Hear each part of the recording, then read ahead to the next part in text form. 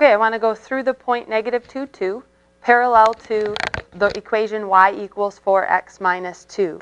Use what we know about parallel lines. Parallel lines have the same slope. So my new equation is also going to have a slope of 4 because my other one has a slope of 4.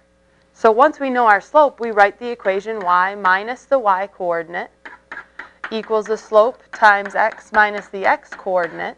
And in this case, our x and y coordinates come from the point negative 2, 2. So it's y minus 2, x minus negative 2. Minus the negative 2 is plus. The m was our slope. We said that that has to be 4 if I want to be parallel to this other line. And then I just simplify. 4x plus 8. And then add 2. So y equals 4x plus 10. And this equation is parallel to our original equation. They have the same slope, different y-intercepts.